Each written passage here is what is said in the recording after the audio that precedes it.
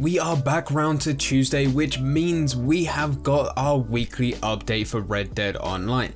And before we do go into it, I do think that this is a pretty decent one. I don't think it quite beats last week. I think last week was probably the best weekly update that we've had so far within 2020, but this is still a good one. If you do want to see me streaming this game live, I am streaming every Monday, Wednesday, and Friday. There is a link in the description down below that will take you over to the Twitch channel head over to there, drop a follow, and you'll be notified the next time I go live. If you also just want to talk more in depth about Red Dead, there is also a Discord server with over 2,500 members. We're getting ever so closer to 3,000 members, so a link to that in the description can also be found. Starting off, and the highlight for this week is if you visit Harriet, she has a new mission for you. Whereas before on a weekly basis we were getting legendary animals added to the game, this week is the same same, but it's done slightly differently. For this week, you need to head over to Harriet, talk to her, and she will have a new mission for you. It says Harriet Davenport has received word of an untamed beast older than time itself nesting outside Saint Denis. The cold-blooded, legendary Banded Gator has a taste for human flesh, as well as the teeth and temperament to satisfy such a craven. Maintain a safe distance and sedate the primordial creature for Harriet or bring its unique skin to Gus to craft an imposing coat to wear. This is available for players that have managed to reach rank 5 as a naturalist, as that is when you can unlock these legendary Harriet missions. If you are lower than rank 5, I have done videos before on this channel which will show you how to rank up quickly quickly. I'll leave a link to that in the description down below. This should be a guaranteed legendary animal for you to get this week, because if you're someone like me, you're still trying to find the previous legendary animals that have come out with the weekly updates, as it is still just based on a chance whether or not they will spawn in. I'm still yet to sample or even kill one of the bucks that were released last week. With this being a Harriet legendary mission, you do have a choice whether or not you want to sedate and sample it. Obviously Harriet wants you to do that, or you can kill it and skin it. If you do kill it and skin it, you can take it to Gus, in which you're able to purchase a fashionable custom banded coat. And if you do do that, you also get for this week, if you craft any coat in Gus's store, you will receive a reward for a free vest. And if you craft anything in Gus's store for this week, you will get a reward for 25 free goods for the trader. And if you craft any trinkets in Gus's store this week, you will receive a reward for a free poncho. So there's some different things that you can do as being part of a trapper. The most difficult thing out of all of this would be probably the trinket, and the reason for that is just because they require collectibles and collectibles now are completely random, so that just makes life a bit more difficult, but other than that you can get some very easy rewards out of this. For the catalogue this week, we do have some new items as well as some limited time offers coming back to the Wheeler Rawson & Co catalogue. We have new colorways of the Comstock boots, the Millard boots, and the Hevlin chaps. We have new items such as the Hopsmere cardigan and also the Mite Hill pants. And we have some limited time only items being the Fernwater coat and the Hopman vest. And then finally, we are moving down to the bonus and benefits. Aspiring Naturalists can knock 5 gold bars off the price of the Animal Field Guide, Legendary Animal Map and the Sample Kit. So you're able to get into this Naturalist role for this week for only 20 gold bars.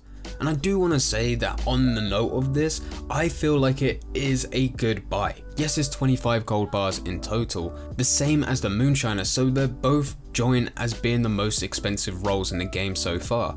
But for the content you get with Harriet, it's pretty decent, but you also get the Trapper alongside it. And that also has a whole lot of other content you can unlock just by going through it. I managed to get rank 20 within the Naturalist the day after this update came out, but I'm still working through that Trapper content. And I'm also still yet to sample and sedate all of the legendary animals. So this is going to keep me busy for a while, and we're already nearly a month into this update. The other bonus that you get is 30% off all novice and promising naturalist items and the improved bow.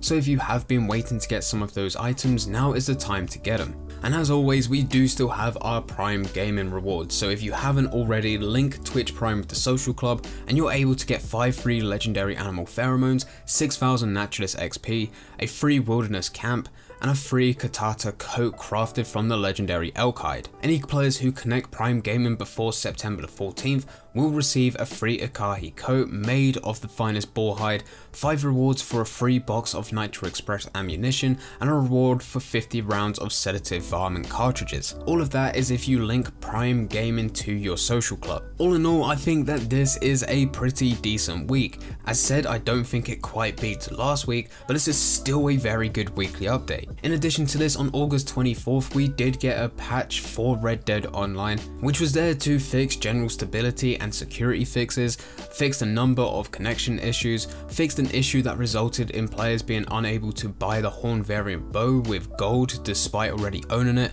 fixed an issue that resulted in players being unable to enter single player or multiplayer gameplay after a crash on PC, and fixed an issue that resulted in abrupt changes to time of day on PC. When this patch did come out, I was streaming Red Dead Online and I was playing on my Xbox. In the 3 to 4 hours of me playing, I didn't experience a single issue. I didn't have any disconnects whatsoever.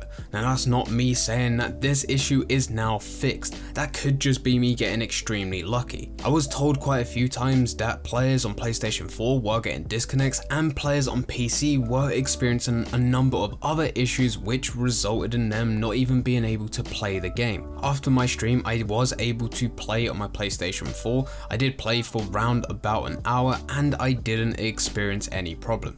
As for PC players, there's not a way that I can test that. I was slightly worried on stream when players were coming in saying that they were having issues again. This was very similar to what happened two weeks ago when that game breaking patch was released.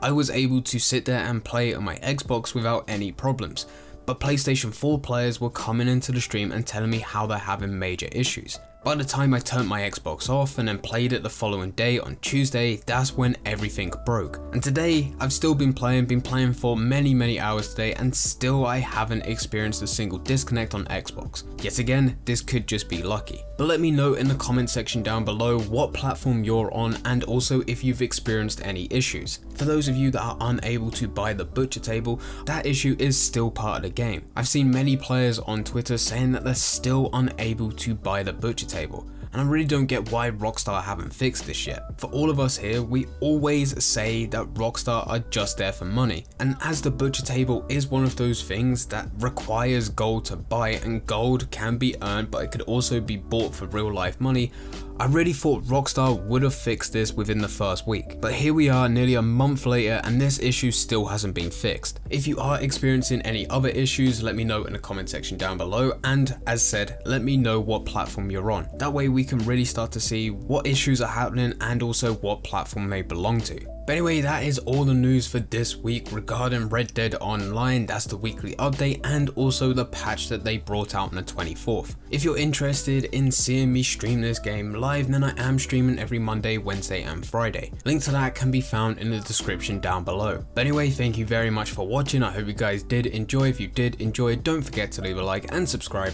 But for now, I'm going. So see ya.